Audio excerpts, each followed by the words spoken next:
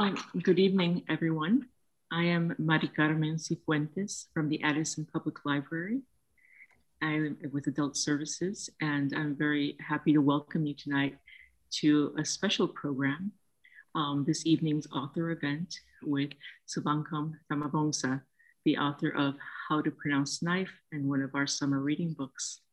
Um, before we start, I want to just share and say a, a few words about um, our uh, upcoming programs that we think that you will also enjoy. Um, one moment, please let me see. We will also have another author event on Monday, this coming Monday, July 26th at 7 p.m. with Robert Crais, the author of um, Suspect, also one of our summer reading books. In addition, we will have some book discussions with our books for our beach read with, um, by Emily Henry on Tuesday, August 10th, and The Vanishing Half by Brit Bennett on August 16th, Monday, August 16th. So we hope that you are able to join us. And so I am very um, excited to introduce Souvankham Thammavongsa. Um, she was born in a Lao refugee camp in Nong Khai, Thailand, and was raised and educated in Toronto. She is the award winning author of four books of poetry, and her fiction has also appeared in Harper's, Granta, the Paris Review, uh, Ploughshares, Best American Non Required Reading 2018, and the O. Henry Prize Stories um, 2019. And her um, most recent uh, publication, the collection of short stories, How to Pronounce Knife, uh, was the winner of the 2020 Scotia um, Giller Prize. Um, so, you know, and, and, I have to say, we are so pleased that um, this book was part of our summer reading program this year, and many of you are, are reading this book um, during the summer. So welcome, uh, Souvankham, and thank you so much for joining us tonight. Thank you for inviting me. Um, you know, as I mentioned, you know, how to pronounce knife was one of our selections for summer reading. So many of our community members in Addison um, eh, are reading this title at this time. And, um, you know, books come up a lot in your in your stories you know books the act of storytelling you know reading writing um, you know we see books they're a source of knowledge and information. They're also you know a source of comfort and, and bonding. So could you know just start off with could you tell us a little bit about the role that books played in your life um, growing up and also about your journey towards becoming an author I grew up in a home without books. My parents um, didn't have any books in the home for us. Anytime I saw a bookshelf, it was usually at a friend's house. Um, and I always begged my parents to take a photograph of me in front of those bookshelves because like the way that we would um, when we go on vacation and we think that the things we see on vacation are things that we might not ever see again. So um, I actually have lots of photographs of myself in front of bookshelves. Um, but um, libraries were a place where I could take a book on that bookshelf and take it home.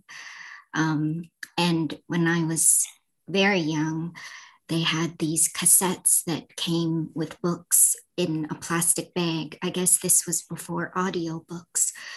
And that was where I learned how to read. My parents um, didn't read very well, or if they did, or when they did learn, um, they didn't pronounce the words properly. But from the library and in that um, plastic bag was a cassette with a voice that taught me um, how to read the words properly. That's lovely. And lovely, you know, that you mentioned um, libraries. I think on one of our social media posts um, to promote your, your book, we were asking our patrons if anyone wanted to share photos of themselves, you know, with their of their bookshelves or of their their, their bookshelves. Um, it, it, you know, and I understand that you have some photos. I do um, that that inspired the uh, story collection, and um, that I think readers who are joining us tonight will uh, really love to see. Um, this is a photograph of me on picture day. It's just like the book where the little girl, Joy, is wearing a green jogging suit. My parents didn't know that picture day is about dressing up. But um, so I just wore the outfit that I had on that day, which was a green jogging suit. Um, this is the country that my parents are from. I've actually never been in that country because they were refugees and they left that country um, and lived in a refugee camp in Thailand where I was born. Uh, I found this map. Um, it belonged to my father, as you can see. Um, I was taken aback by it because usually in school, North America is on the left. But here, where my parents are from, it's at the center of the world. Um, I never saw myself as a writer from the margins. Um, I saw myself always at the center of a story basically at the center of the world because that was my parents' worldview. This is what the language, the Lao language, looks like. Um, I don't know how to read or write it. I don't think of myself as a Lao writer. I think someone who lives in Laos is a Lao writer. And, you know, if I said I was one, someone living and writing there might take offense to such a title. This is me in the middle there, a child in the Lao refugee camp um, in Thailand. My father is the man on the left. He was a fan of the Beatles, and as you can see, he still cared about style. He should have buttoned his collared shirt to the very top, but he thinks it's quite cool, like the Beatles, to um, unbutton a few the things behind him are the things that he made in the refugee camp, waiting to hear responses from around the world to see who would take us in. As you can, um, as you can see, you, maybe you'll notice in this photograph next to everybody's face is a number one, two, and three. This is the photograph that got us sponsored to Canada. We wanted to come to America, but what my father did was not a job that America understood. It wasn't an accountant, a teacher, um, a professor. He didn't have a PhD. Um, he carved those things behind him. He was an artist, which, you know, could also be mistaken for because it's such a vague term for being a communist. So my family was not sponsored, but we were sponsored to Canada. This is our first day in Canada. As you can see, that's snow. um, the closest thing that my parents had ever gotten too cold was ice cubes. They didn't have a word for snow, so they called that stuff on the ground ice cubes. That's me in the little blue um, snowsuit. I'd never seen snow before. This is a photograph of me as a kid.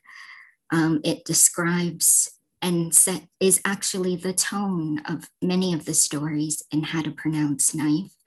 You'll always see a child taking care of things themselves. Here I am very loved by that woman who is holding me there.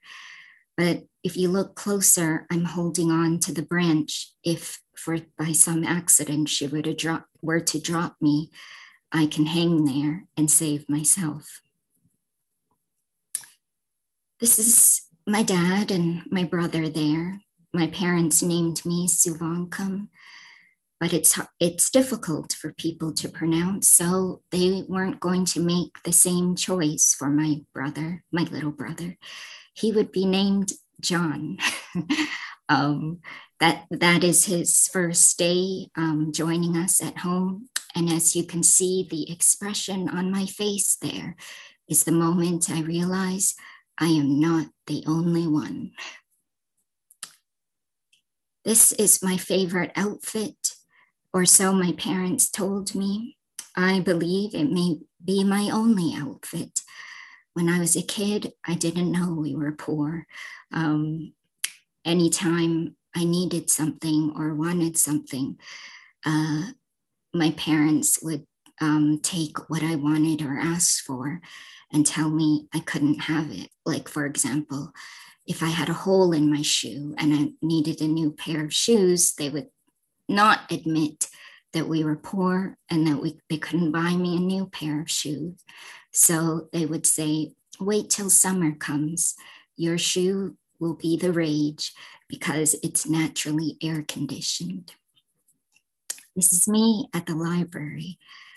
Um, I still, I still remember it as such a lovely place to be. Um, I didn't know, you know, that 40 years later, um, I would write one of those books behind me, or at least a book that would be in the library there. Um, Again, my green jogging suit, it's all I ever wore in all these photographs. Then one day this happened. It was given to my brother. To be honest, I think I look cuter in it. Uh, this, my dad taught me how to ride my bike. I always thought my brother was the favorite, but if you look behind the garbage can there on the left, the lower left, is my little brother. Um, he's looking on. When he learns how to ride a bike, there will be no one there to take a picture. This is me uh, on a Sunday afternoon in Canada. This is what we do there. We skate. I used to skate for eight hours. Um, I had no idea eight hours passed. It was just incredibly fun um, to, you know, glide on these two very sharp blades. This is the high school I went to. In our yearbook, the last name Wen spanned for 19, 20 pages. Um, I, I didn't feel like I was an outcast or anything like that. Everyone looked like me, or most people looked like me. Um, everyone around me was an immigrant or a refugee. I didn't stand out in any way. These two are my best friends, Gayatri and Zebart. I never thought my name was strange or anything like that because my friends also had these quote strange names. Uh, this is the book that I'll be reading from tonight. I wrote it simply because I want to. I know that doesn't sound very radical or profound or special. But if we ever think about anything that we've ever wanted in our life um, and the things that we do to achieve that want, um, we'll actually see that actually it is profound and meaningful and radical.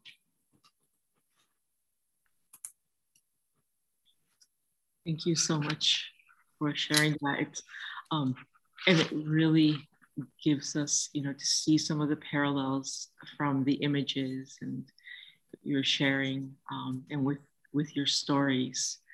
Uh, the you mentioned the, the one photo when you were on the branch and about children taking care of themselves, which it really strikes me in regards to thinking about your stories. Um, we have a reading circle class here for um, English language learners.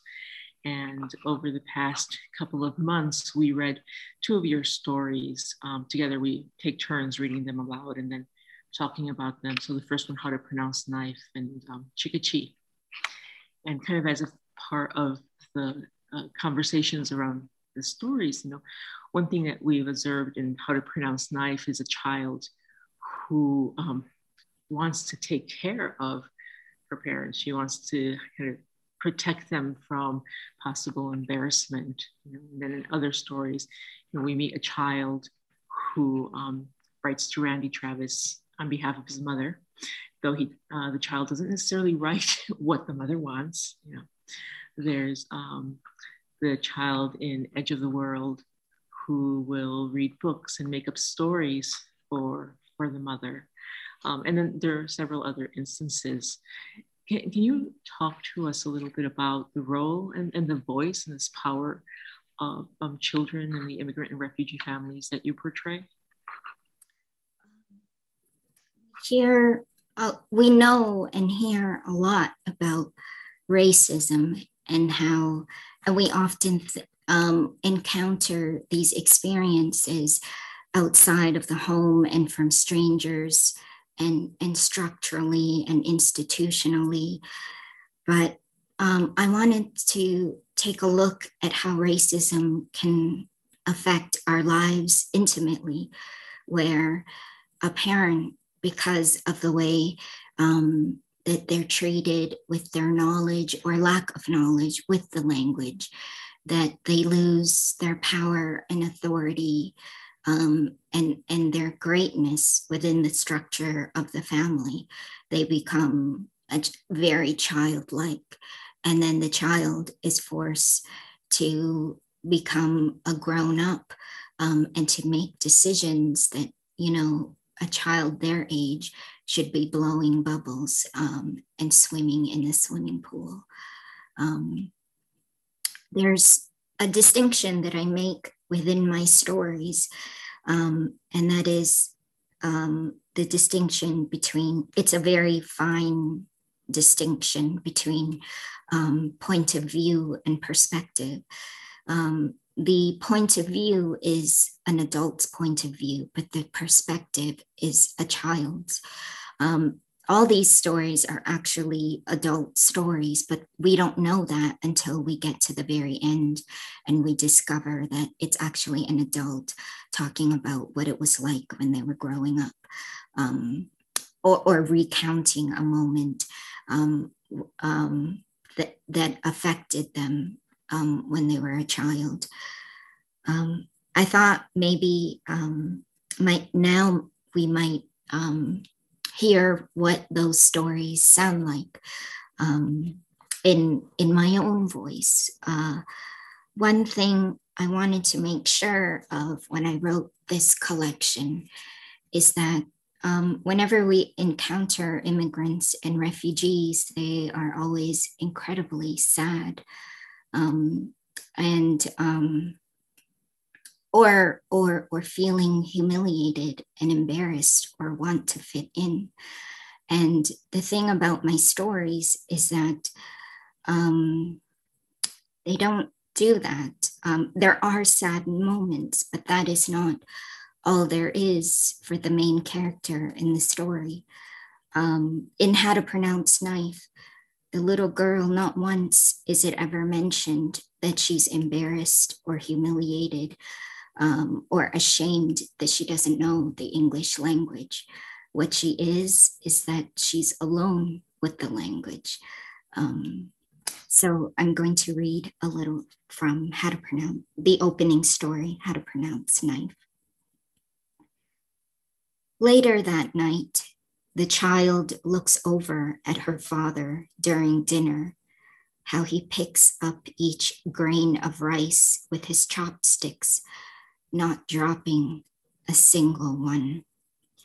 How he eats, clearing away everything in his bowl, how small and shrunken he seems. The child does not tell him the K in knife is silent. She doesn't tell him about being in the principal's office, about being told of rules and how things are the way that they are. It was just a letter, she was told. But that single letter out there alone and in the front was why she was in the office in the first place. She doesn't tell how she had missed, how she had insisted the letter K was not silent. It couldn't be. And she had argued and argued It's in the front, the first one. It should have a sound. And then she screamed as if they had taken some important thing away. She never gave up on what her father said on that first sound there, and none of them, with all their lifetimes of reading and good education, could explain it. As she watches her father eat his dinner, she thinks of what else he doesn't know, what else she would have to find out for herself. She wants to tell her father that some letters, even though they are there, we do not say them, but she decides now is not the time to say such a thing.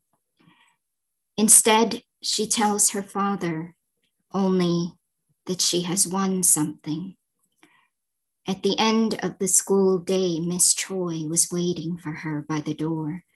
She asked the child to follow her to the front desk, where she unlocked the top drawer and pulled out a red velvet sack. Pick one, she said, and the child reached inside and grabbed at the first thing her fingers touched. It was a puzzle with an airplane in the sky. When she shows her father the prize, he is delighted because in some way he has won it too. They take the prize, all the little pieces of it, and start forming the edge, the blue sky, the other pieces, the middle, the whole picture. They fill those in later.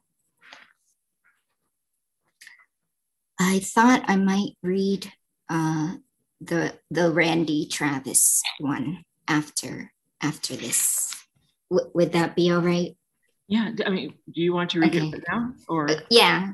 Oh, Okay. okay. Randy Travis. Um, for those who do not know, I am actually a Randy Travis fan. um, Randy Travis. The only thing my mother liked about the new country we were living in was its music.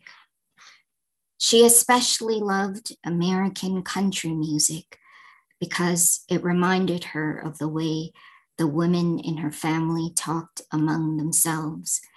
It felt familiar the pleas, the gossip, the dreams of the big city, what it was like to come from a place no one had ever heard of. The songs my mother loved most were by a man named Randy Travis.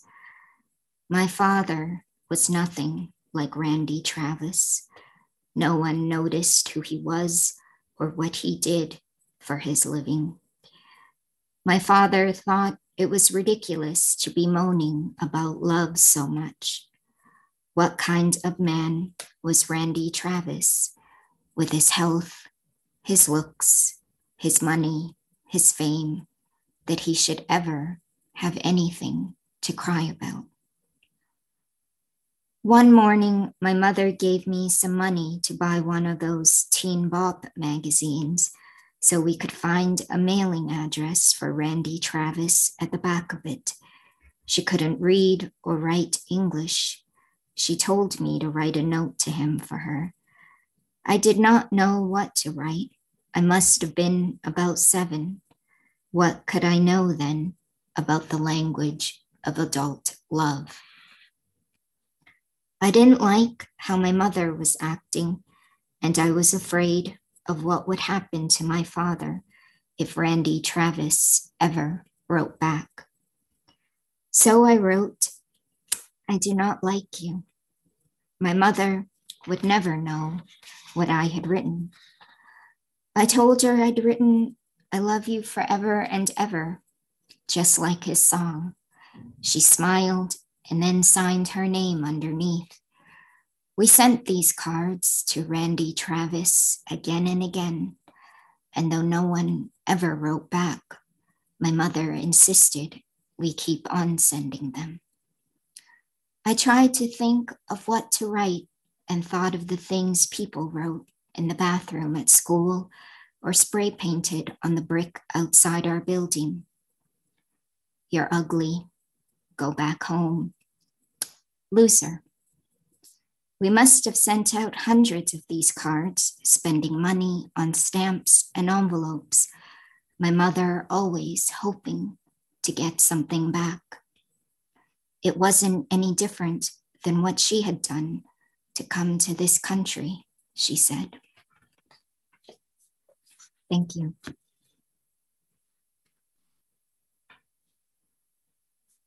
Thank you. That was lovely. Um, seeing here some.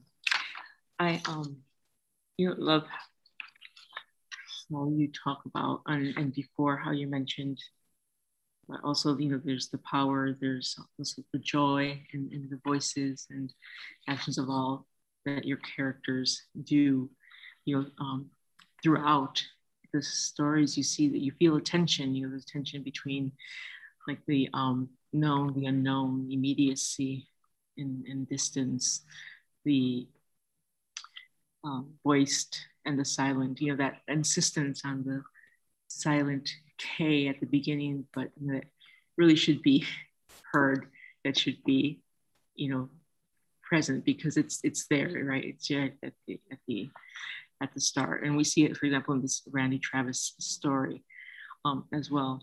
Can, can you speak or you know expand a bit more about like these tensions um, that you know speak to this breadth and power of your your characters? You know, as they're trying to figure out between like the being told this is how things is and fitting in and, and creating their own their own voice and, and presence um i i i'm in these stories i'm drawing attention to the power of the english language the knowledge that we have when we have the English language, when we know it.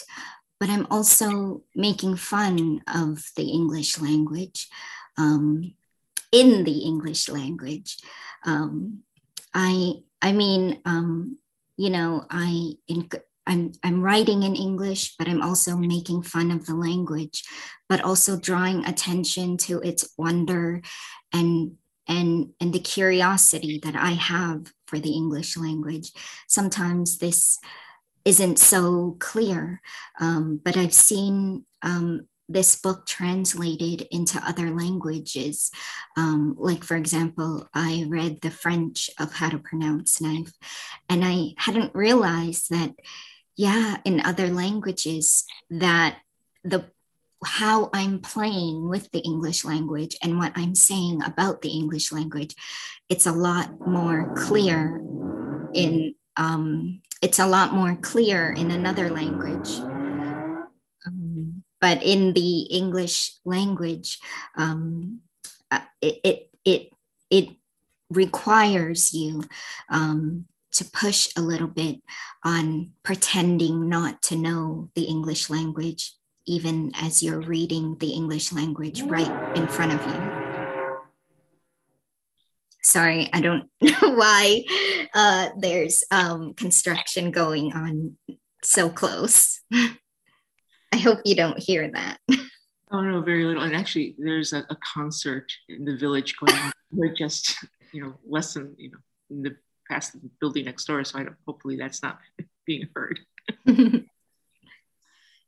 but I, I love how and you, and you can feel that you know in, in your writing I mean, it's um in terms of you know language it's very you know it's direct and concise at the same time it's so poignant and you know incisive and it's also i feel like you know textured and layered and i love the um well i love hearing you read in, in your voice and you know with your pace and, and cadence um but there I, I was at an event um, and the host there had described um, my voice or the voice of the stories as dripping with acid. And I kind of like that description because um, some of these stories are sometimes read or thought of as being sad. Um, but if you heard me read from um, the opening story, How to Pronounce Knife, it's, it's not sad at all. And in fact, when the little girl is describing uh, the father um, um, having his meal, he picks up every single grain of rice. And if you've ever had a bowl of rice and you had to pick it up with chopsticks, each grain, to be able to do that to each grain is actually very difficult. Although it's not overtly said, in that moment, she's looking at the skill that her father has and that nobody at school has. And it's that that knowledge that maybe won't necessarily be found in books, right? But in that, you know, lived experience and that deep respect for. I think in how to. Right. Oh, I mean, we often value knowledge so much, um, but sometimes not knowing um, is valuable too. Or, um, like, for example, not knowing that your parents don't know how to read or write English um, is something you want to hold on to as, as a kid. Um, you don't want to know that um, there's something that they're incapable of doing. I think you also feel a deep love throughout the stories. Um, for example, in, in, in, How to Pronounce Knife, my impression is from the beginning, when she's describing the room, you know, they, they had started, the father had started to paint. Um, and I know that, you know, painting kind of comes in, in in some other stories, or at the end, they're working together on the puzzle, right? And it's kind of like this fitting together, and it's still need to to finish filling it out, right? The puzzle that that is life, but there is that hope in terms of it's the sky, there's the airplane, there's the, the, the dreams, right? It's, it's life in the making. That these are bits and pieces. We don't, in a life, we don't have the whole story yet. We just have bits and pieces. And, those bits and pieces, even though that they're, they're not whole, um, they're meaningful. Yes um, thinking about a bit then the bits and pieces and the puzzle and, and, even the images that you showed us showed us the, the, the world map and you know um, Laos being at, at the center the map your parents had. Um, would you like to read from Edge of the World at this time? Of course. It's one of my favorite stories. It was published in the Atlantic and I got so many comments about um, readers hoping that I find my mother. And the funny thing was, I didn't, you know, I didn't want to tell them that it's not a true story because it was such a compliment that they just couldn't believe that I made up a story. It just felt so real. And they wanted to see it as a real story. Edge of the World. My mother peered at the puzzle of the world and pointed at a green spot and said that was where she is from, a tiny country on the lower far right. Then she pointed to where we were at this moment, a large pink area at the top far left. She pointed to the puzzle's edge and then to the floor where there was nothing. It's dangerous there, she said. You fall off. No, you don't, I said. The world is round. It's like a ball. But my mother insisted. That's not right. Still, I continued. When you get to the edge, you just come right back around the other side. How do you know? She said. I didn't know exactly. It's flat, my mother said touching the map like this. Then she swept the puzzle to the floor with her palm.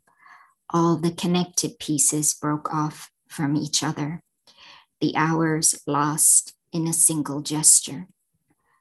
Just because I never went to school doesn't mean I don't know things. I thought of what my mother knew then. She knew about war, what it felt like to be shot at in the dark, what death looked like up close, what a bomb could destroy. Those were things I didn't know about, and it was all right not to know them. Living where we did now, in a country where nothing like that happened. There was a lot I did not know. We were different people, and we understood that then. It's snowing, my mother said. She said it once like that in a small, clear voice. It's snowing. But the way she said it made it seem like it was not about snow at all, something that I can't ever know about her. Soon after, sometime in the night, when I was asleep, she walked out the door with a suitcase. My father saw her leave, he told me, and he did nothing. All this was years ago, but I can still feel the sadness of that time, waiting for her to come back. I know now what I couldn't have known then. She wouldn't just be gone, she'd stay gone. I don't think about why she left it doesn't matter anymore. What matters is that she did. What more is there to think about than that? Often I dream of seeing her face, still young like she was then. And although I can't remember the sound of my mother's voice, she is always trying to tell me something, her lips wrapped around shapes I can't hear. The dream might last only a few seconds, but that's all it takes, really, to undo the time that is past, that has been put between us. I wake from these dreams, a child, raw, a child, feeling like a child still, though I am 45 now and grieve the loss of her again and again. My father did not grieve he had done all of this life's grieving when he became a refugee. To lose your love, to be abandoned by your wife, was a thing of luxury. It meant you were alive. The other night, I saw an image of the earth on the evening news. I had seen it many times before, and although my mother was not there, I spoke to her anyway, as if she was. See, it really is round. Now we know for sure. I said it out loud again, and even though it disappeared, I knew what I had said had become a sound in the world. Afterwards, I went to the bathroom mirror and stared at the back of my mouth. I opened my mouth wide, saw the hot, wet pink flesh and the dark center where my voice came out of, and I laughed loud and wild. The sound went into the air vent, and I imagined people living in the building wondering to themselves where a sound like that came from. What could make a woman laugh like that at this hour of the night?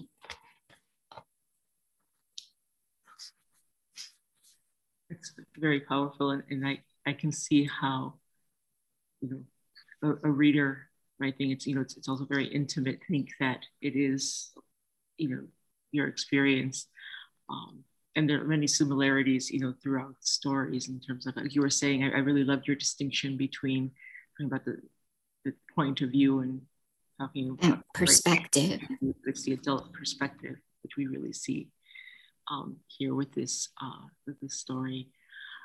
I just have a question that um, just thinking in terms of as, as you're reading and listening to you, and you mentioned that how to pronounce knife is being translated into other languages.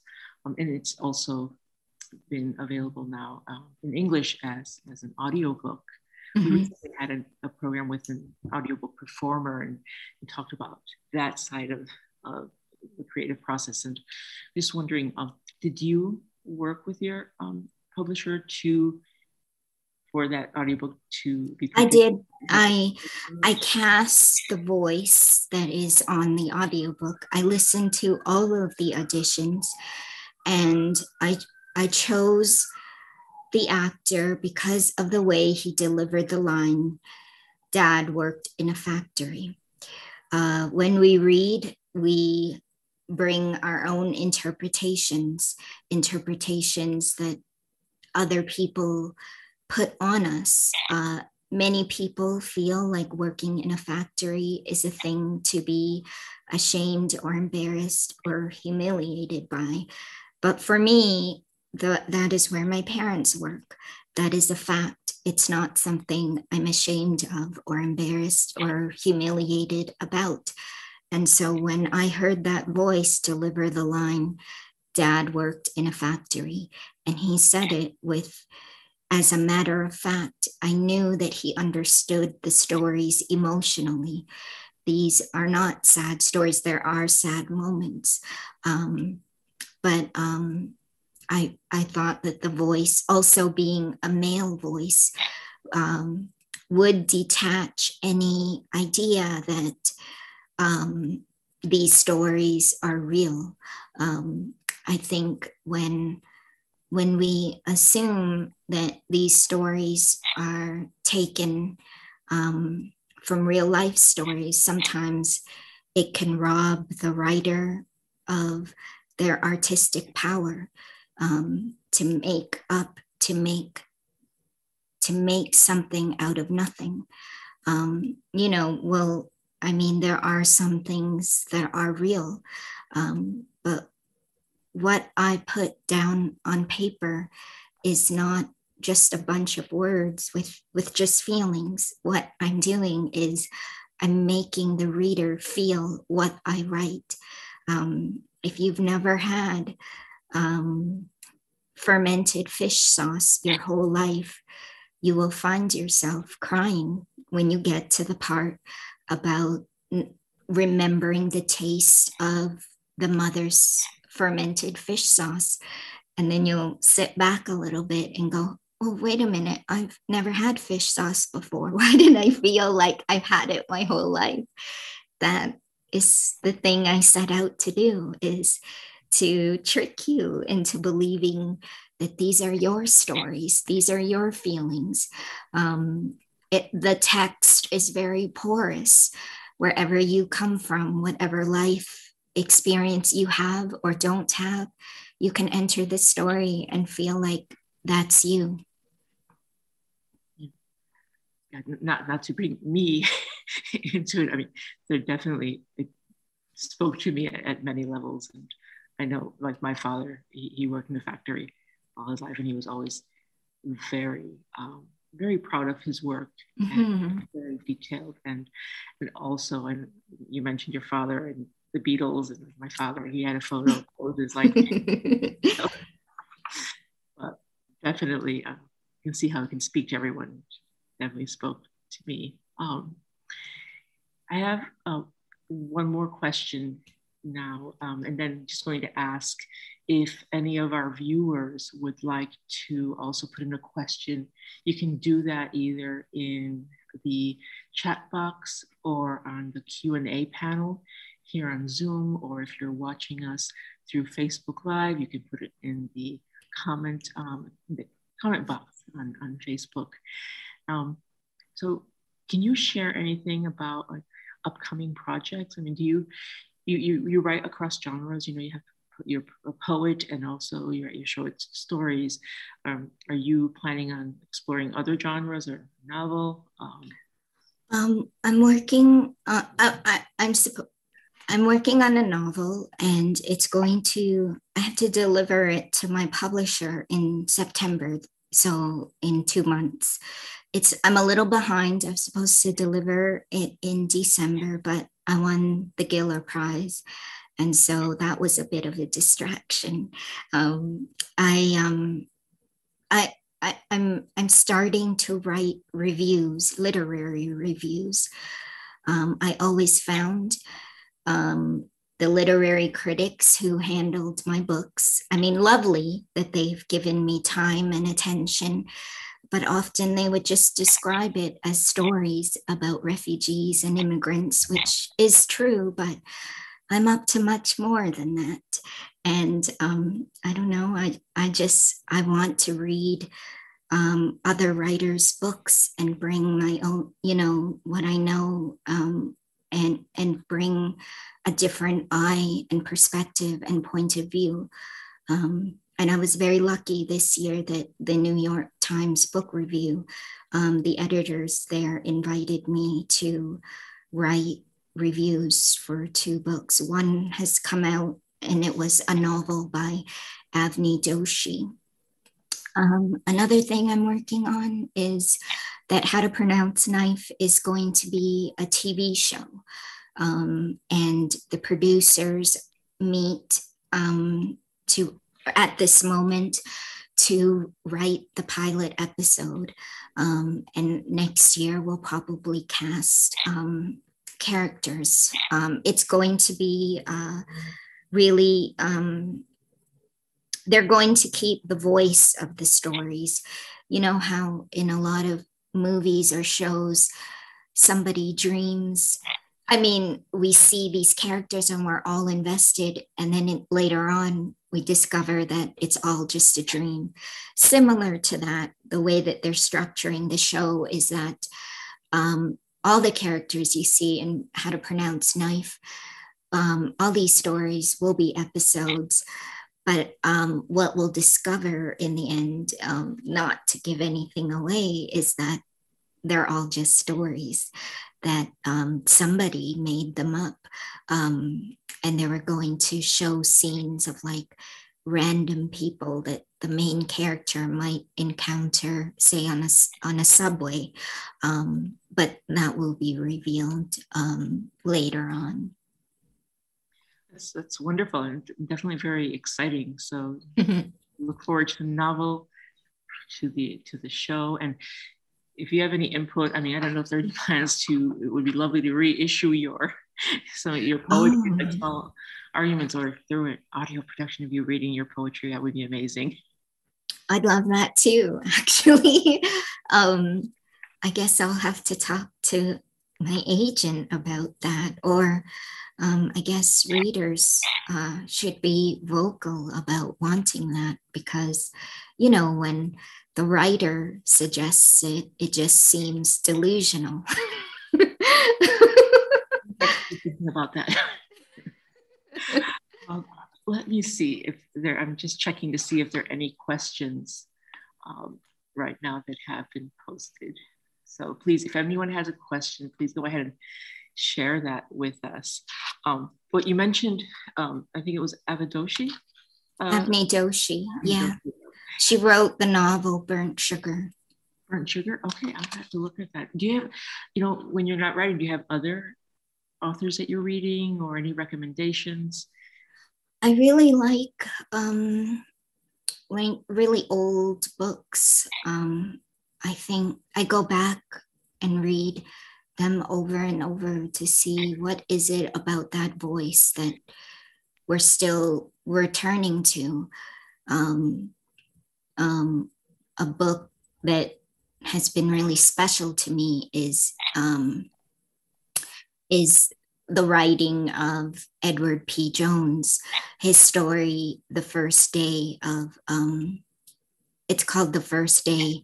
And in it, it's, it's about a little girl on the first day of school.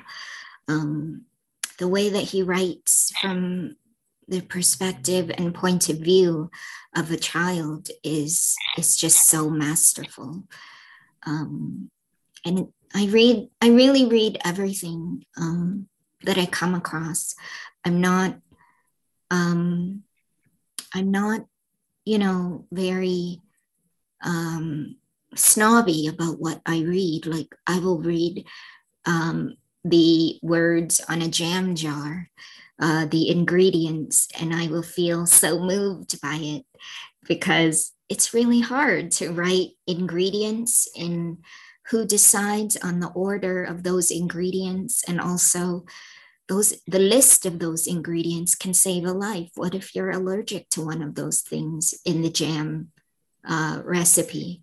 Um, i really will i just read everything really. Well you know languages in uh, all aspects of our of our life. So, mm-hmm. um, and actually we have a question we have a few questions coming in. Um, so one of our viewers would like to know do you handwrite your stories? Um, I do because you know I I've been writing for 25 years. Um, I wrote when there were no computers. I wrote when there was just a typewriter. Um, but one thing I always return to over and over is handwriting.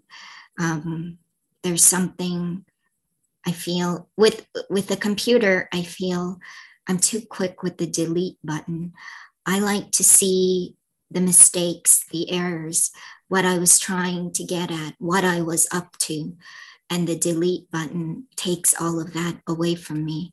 Whereas if I write it out, um, I can see where what I was trying for, what what I was trying to achieve, and and that error, that mistake, that that not quite there moment is all there in the handwriting on the piece of paper and um, you know no uh, my it, it's not something i can lose it if i lose the device that contains it because you know it's a piece of paper.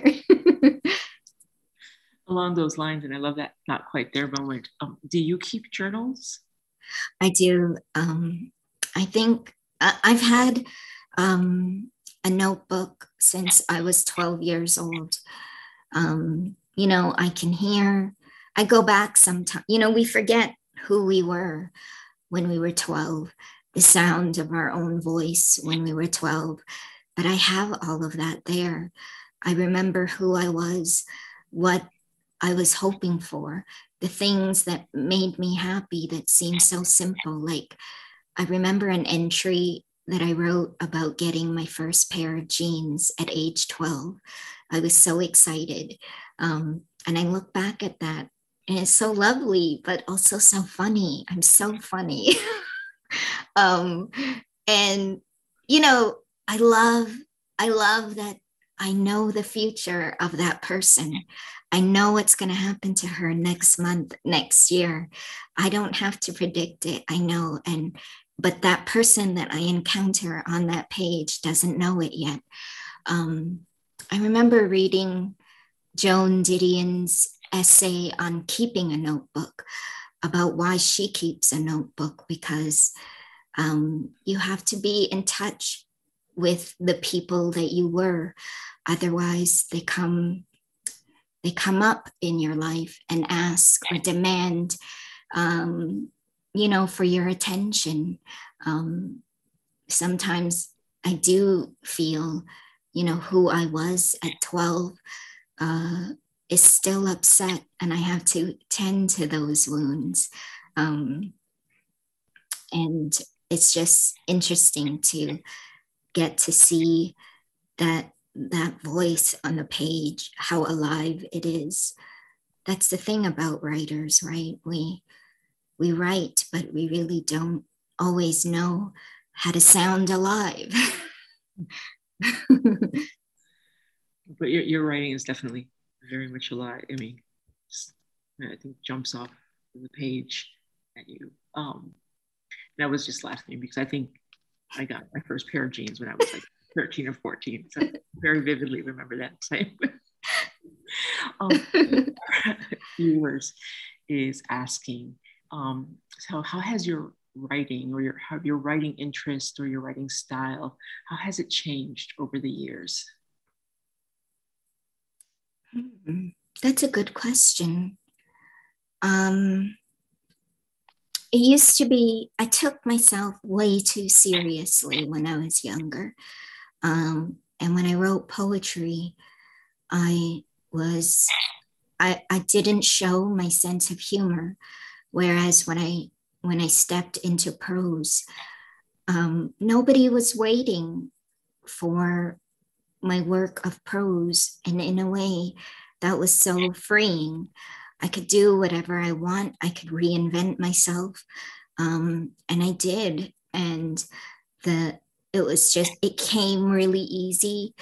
You know, in a poem, sometimes a sentence takes 20 years to write because I take myself too seriously. Whereas in fiction, I just let that, or maybe, you know, having spent 25 years being so careful with my words, um, maybe that helped me arrive at the page now and and to get there faster and to bring in elements that I hadn't touched before. Um, let's see if there are any other questions. I think, you know, kind of thinking also then about writing, you're saying you changed your, your, your style. No one was expecting your, your, your short stories or a change. Um, thinking about also other writers and upcoming writers, aspiring writers, you know, there's always been a very rich cultural production by you know black indigenous immigrant peoples by people of, of color it's just not necessarily had the access available mm-hmm. or the means to you know um, to control to produce um, make that known um, what and, and now publishing is starting to you know address equity in, in, in publishing um, to some extent or, or, creating some more spaces. But what type of maybe recommendations do you have for aspiring writers, and for example, especially aspiring writers, you know, color who write um, languages? Write what you want. Um, I I understand that. Well, I understand that sometimes, you know, people want or a, pub, a reading public or a publisher wants, um, you know, one thing. Um, and that's the only one thing that they, and if you're not that one thing, um, who you are, what makes you special, what makes you brilliant and spectacular, um, you compromise on because you want to be that one thing for them. I think the advice I would give to um, any writer is don't stop asking for advice. Um, anytime you ask for advice, you are discounting what you know, um, what makes you spectacular and brilliant. Um, and I think you already know what you're what you're asking for, whatever advice that is that um, you think you need from someone else. You already have it. And I just think you should move forward with that. Um, and um, any publisher um, can, should, can, will value that. Um, that's what I did. I mean, that's what I did. Um, I understand that, uh, you know, people think it's a risk to write about um, Asian women who are not uh, submissive and quiet, um, but who who are actually loud and rambunctious and um, funny. Um, but it isn't actually a risk. It's just the truth. um, it's, uh, you know, um, I think readers should have a, you know, a diverse view um, and uh, of of who people are, what they sound like, what they what they look like, um, what what they think. All these stories have to do or um, show a thinking person. On the spot, yeah. unapologetic, uncompromising. Be yourself. Thank you. That's you know wonderful advice. Um, very true. and I think it's a you know, powerful note on which that to end our program tonight. Um, it's, it's been a privilege and a very insightful evening and really appreciate you giving us your time to share your thoughts and you know give us a sneak into your you into your life and, and your experiences behind the stories. So um, thank you very much. Thank you. The privilege is really mine. So um, thank you. We hope that um, for those who might want to view this conversation again please check out our website. You can check the Facebook for a viewing of this. Again, the book is How to Pronounce Knife, our author Souvankham Thammavongsa, and we look forward to continuing to see much more from you. Thank you. And everyone, have a good night.